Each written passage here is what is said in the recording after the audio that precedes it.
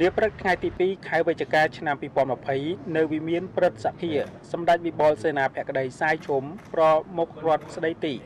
នៃព្រះរាជាណាចក្រកម្ពុជា បានអនុញ្ញាតឲ្យប្រតិភូនិស្សិតអាហារូបករណ៍អូស្ត្រាលី និងនូវែលសេឡង់ចំនួន27នាក់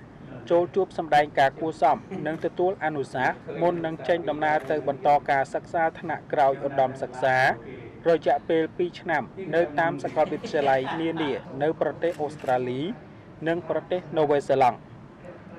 នៅក្នុងឱកាសនោះលោកទៀបសុថាតំណាងនិស្សិតអាហារូបករណ៍អូស្ត្រាលី និងនូវែលសេឡង់បានធ្វើសេចក្តីរាយការណ៍ជូនសម្ដេចប្រមុខរដ្ឋស្ដីទីអំពីអាហារូបករណ៍របស់រាជរដ្ឋាភិបាលអូស្ត្រាលី និងនូវែលសេឡង់ និស្សិតអាហារូបករណ៍អូស្ត្រាលីនិងនូវែលសេឡង់ដែលនឹងត្រូវចេញដំណើរទៅបន្តការសិក្សានៅខែមករាឆ្នាំ2021ខាងមុខនេះមានចំនួន27នាក់ក្នុងនោះមានស្រីចំនួន11នាក់ដែលបានប្រឡងជាប់អាហារូបករណ៍អូស្ត្រាលីចំនួន18នាក់និងនូវែលសេឡង់ចំនួន9នាក់ក្នុងនេះផងដែរក៏មានមន្ត្រីរាជការបម្រើការតាមក្រសួងស្ថាប័នចំនួន16នាក់ និងបុគ្គលិកក្រុមហ៊ុនឯកជន អង្គការក្រៅរដ្ឋាភិបាលចំនួន11នាក់សម្ដេចវិបុលសេនាបក្តីសាយឈុំបានសម្ដែងនៅការអបអរសាទរនិងកោតសរសើរចំពោះក្មួយៗទាំងអស់ដែលត្រូវបានជ្រើសរើសជានិស្សិត JLP អាហារូបករណ៍រដ្ឋាភិបាលអូស្ត្រាលី និងនូវែលសេឡង់ដែលជាអាហារូបករណ៍អន្តរជាតិដ៏មានសក្តានុពលមួយ សម្ដេចប្រមុខរដ្ឋស្ដីទីបានផ្ដាំផ្ញើដល់ក្មួយៗទាំងអស់នៅអនុសាសន៍ល្អៗចំនួន7ចំណុចសំខាន់សំខាន់ដូចតទៅទី1ពេលក្មួយៗចេញទៅសិក្សាឆ្ងាយពីគ្រួសារពីប្រទេសជាតិដូចនេះការនឹករលឹកមនោសញ្ចេតនាចំពោះគ្រួសារនិងប្រទេសជាតិគឺมันអាចកាត់ផ្ដាច់បានទេប៉ុន្តែទោះជាយ៉ាងណាក៏ដោយក្មួយៗត្រូវតែព្យាយាមធ្វើយ៉ាងណាកុំឲ្យមនោសញ្ចេតនានៃការនឹករលឹកនេះ คล้ายទៅជាឧបសគ្គដែលរារាំងដល់ការសិក្សាដូចនេះក្មួយៗត្រូវតែមានការបដិញ្ញាចិត្តខ្ពស់ដើម្បីជំនះគ្រប់ឧបសគ្គខិតខំរៀនសូត្រឲ្យឈានដល់ការសម្រេចជោគជ័យនៅទីចុងបំផុតទី2សូមយកចិត្តទុកដាក់អនុវត្តឲ្យបានម៉ឺងម៉ាត់នៅច្បាប់ទម្លាប់ប្រពៃណីរបស់ប្រទេសទាំងពីរធ្វើយ៉ាងណាខិតខំបង្ហាញឲ្យបានអំពីអត្តចរិតថ្លៃថ្នូររៀបសារឧស្សាហ៍ព្យាយាម និងអត់ធ្មត់របស់ប្រជាជនខ្មែរយើង ទី3សូមក្មួយក្មួយត្រូវយកចិត្តទុកដាក់គោរពវិន័យបទបញ្ជាផ្ទៃក្នុងរបស់សាកលវិទ្យាល័យគោរពថ្នាក់ដឹកនាំសាកលវិទ្យាល័យដោយគោរពនៅការបង្ហាត់បង្រៀនរបស់លោកសាស្ត្រាចារ្យ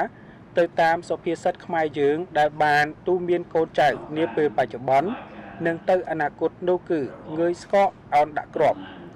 ទី4សូមក្មួយក្មួយខិតខំឲ្យអស់ពីកម្លាំងកាយកម្លាំងចិត្តកម្លាំងប្រាជ្ញា ដើម្បីឈានទៅសម្រេចឲ្យនិទេសជានិស្សិតល្អជានិស្សិតឆ្នើមនៅពេលបញ្ចប់ការសិក្សាដើម្បីស័ក្តិសមទៅនឹងសេចក្តីសង្ឃឹមជំនឿជឿជាក់របស់សាកលវិទ្យាល័យរបស់រាជរដ្ឋាភិបាលកម្ពុជាក៏ដូចជារដ្ឋាភិបាលនៃប្រទេសអូស្ត្រាលី និងប្រទេសនូវែលសេឡង់ផងដែរ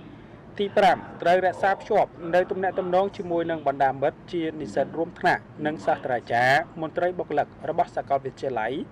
និងជាមួយប្រជាជននៃប្រទេសសាមីដើម្បីផ្សព្វផ្សាយអំពីសភាពការពិតប្រពៃណីវប្បធម៌ដ៏ល្អផូរផង់សក្តានុពលដ៏សម្បូរបែបរបស់ប្រទេសជាតិយើងក្នុងគោលបំណងដើម្បីឲ្យគេយល់កាន់តែច្បាស់ ហើយឲ្យគេជួយផ្សព្វផ្សាយដើម្បីអូសទាញភ្ញៀវទេសចរមកទស្សនានិងអ្នកវិនិយោគមកបណ្ដាក់ទុននៅប្រទេសកម្ពុជាឲ្យបានកាន់តែច្រើនថែមទៀតទី6សូមក្មួយក្មួយនិស្សិតអាហារូបករណ៍អូស្ត្រាលី និងនូវែលសេឡង់ដែលត្រូវទៅសិក្សានៅឆ្នាំ2021និងនិស្សិតដែលបានទៅសិក្សាមុនមុនត្រូវខិតខំសាមគ្គីគ្នាក្នុងរង្វង់គ្រួសារខ្មែរឲ្យបានស្អិតរមួត ប្រកបដោយសុខដុមរមនាដោយអនុវត្តឲ្យបានល្អទៅតាមសុភាសិតខ្មែរថា នៅផ្ទះម្ដាយទីតីនៅព្រៃម្ដាយតែមួយនិងទី7ក្នុងបរិបទបច្ចុប្បន្ន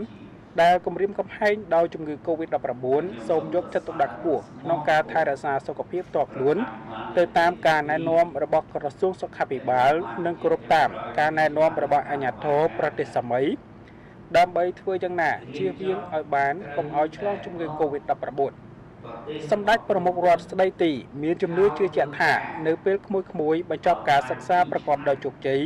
ត្រូវយកចំណេះដឹងនិងរៀនសូត្របន្ថែមអំពីបទពិសោធន៍ហើយជាពិសេសគឺឈោងចាប់យកបច្ចេកវិទ្យាថ្មីៗដើម្បីយកមកចូលរួមកសាងនិងអភិវឌ្ឍប្រទេសជាតិយើង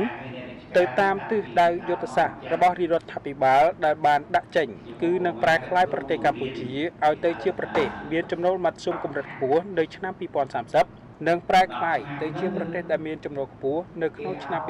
2050សម្ដៅជំរុញការកសាងប្រទេសយើងឲ្យក្លាយទៅជាប្រទេសដែលមានការរីកចម្រើនខ្ពង់ខ្ពស់ដោយបណ្ដាប្រទេសនៅក្នុងតំបន់ និងក្លាយទៅជាសង្គមដែលមានអរិយធម៌សេចក្តីស្រឡាញ់ហើយគ្មានការកើនឡើងវិញនៅសង្គ្រាមនិងរបបប្រល័យពូជសាសន៍ក៏ដូចជាការបែកបាក់ផ្ទៃក្នុងជាតិដោយអតីតកាលទៀតឡើយ។